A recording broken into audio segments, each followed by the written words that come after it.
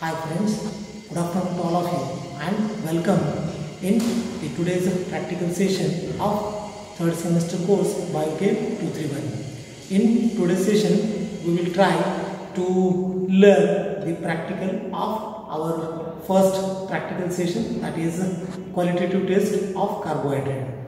So before the start of our actual practical, so we will see what actually the carbohydrate means. Carbohydrates are nothing but the polyhydroxyaldehyde and polyhydroxyketone are their derivatives. So here what actually the polyhydroxyaldehyde or polyhydroxyketone means the carbohydrates are containing free aldehyde that is the CHO or the free ketone group called as C double bond O group. So this uh, aldehyde and ketone group present in the carbohydrates are responsible for the deciding behavior or reactions of carbohydrate. These uh, aldehydes and ketones are present either in free form or free state and sometimes these are also present in combined form to form the complex carbohydrates. So let us start the session that is qualitative test. So actually the qualitative test means when we are determining the test so it will indicate the presence or absence of compound in carbohydrate. So first test is the anthrone test. So this anthrone test is carried out for polysaccharide. Now what actually the polysaccharide or oligosaccharide? So the examples of polysaccharide and oligosaccharide are the starch cellulose glycogen so for the performing anthrone test First, we will see the principle. So, anthrone reagent is the reagent which is prepared with the help of uh, the concentrated H2SO4. So, concentrated H2SO4 when react with the polysaccharide, then after there is a formation of furfural and the anthrone reagent reacts with this furfural and then there is a formation of uh, either green in liquid state and in the or the blue color in case of the concentrated state. So let us start the practical, actually the practical anthrone test. So we will perform the anthrone test. So for anthrone test, we will uh, there is a requirement of the anthrone reagent. So here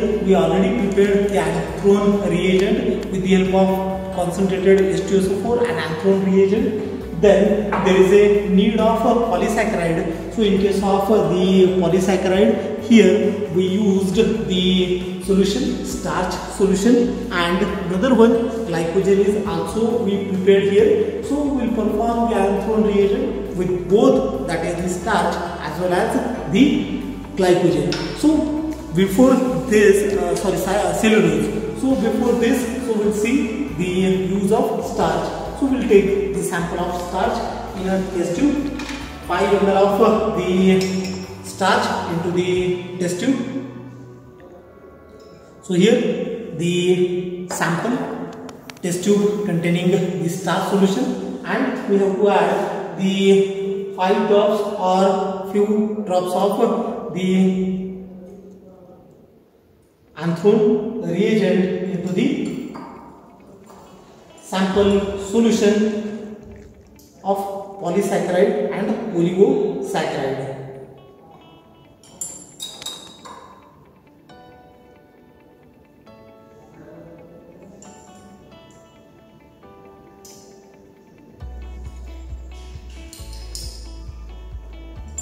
So after this addition of starch and addition of anthrone reagent is over. Now we have to boil we have to heat, we have to heat the content with the help of water bath so instead of water bath we used burner.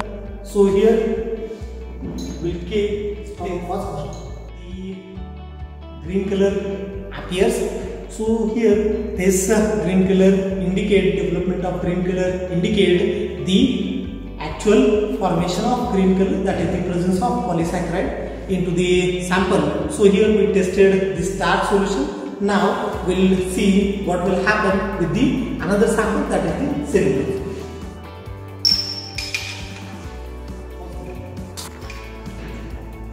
Now same test anthrone will perform with the help of the another sample we will try to check that is the cellulose. So here we already prepared with the help of the uh, acetone and water 9 is to 1 ratio the cellulose solution and then after this solution we'll add again the actual reagent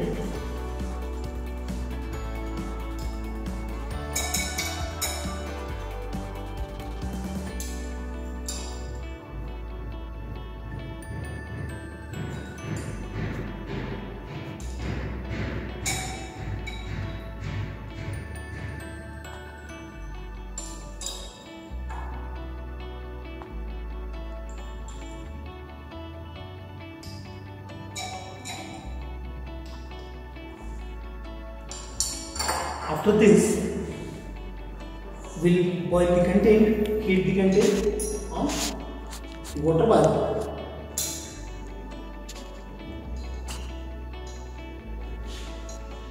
So next test is the Fehling test and Fehling test is useful for the reducing sugar. Now reducing sugar, the examples of reducing sugar are the lactose, maltose. So we'll take the sample is the lactose. So here this is the lactose sample that we add. We are going to add into the test tube. Take the test tube, clean it properly, and then after add the 5 drops of 5 ml of the lactose solution and in that the 2.5 ml and 2.5 ml of Fehling A and Fehling B solution. So here this is the Fehling A solution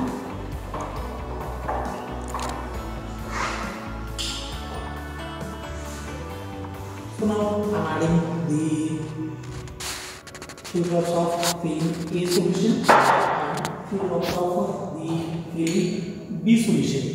And when there is the addition of Fehling A and Fehling B, the blue color forms as the copper sulfate or particularly the cupric sulfate is converted into cuprous and then after we will heat the content then after it turns into the cuprous oxide which is uh, indicated by the development of brick red color. So let us check whether the brick red color develops or not. So here we will carry out this test. We performed two tests. First one anthrone test and the green color developed and it indicates the presence of polysaccharide in the sample. Second qualitative test we perform that is the another test Fehling solution and Fehling test also found observed positive as the blue color converted into brick red that is the development of cuprous oxide and now third test that we will try to perform and we will check whether what will happen or whether that test is positive or negative. So another test is what as Benedict test. So we perform the Benedict test. First sugar sample solution. So here again I am using the lactose solution. Let us see what will happen with the lactose solution. So here in test tube I use the lactose sample and in that I am going add the Benedict reagent. So this Benedict reagent is containing the potassium thiocyanate and potassium thiocyanate. So this mixture to the sugar sample. So here blue color develops. Let us check what will happen with this solution. So according to me, brick red color as this also the solution is containing the ferrous. So here the color should be brick red or red color. So here I already mentioned that is the development of red color or red color and it indicates the presence of sugar sample. Moving ahead,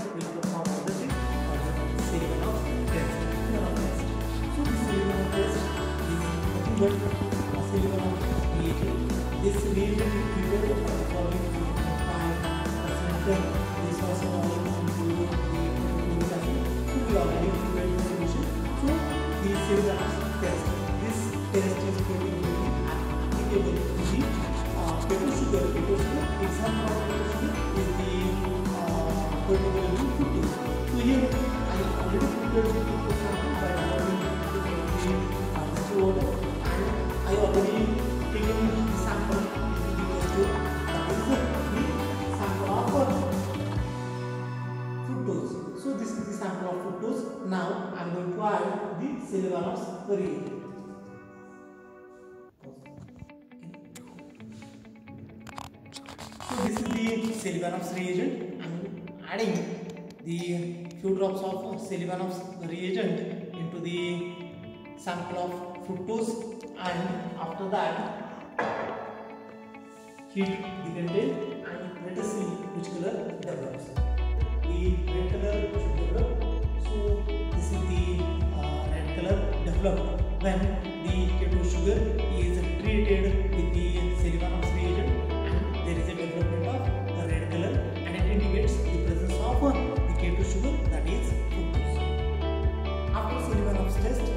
test that we are going to perform that is iodine test. So this iodine test is commonly performed for the polysaccharide. So in case of polysaccharide, we already prepared the solution of the starch. So this is the starch solution. So few ml of starch solution that is the 5 ml of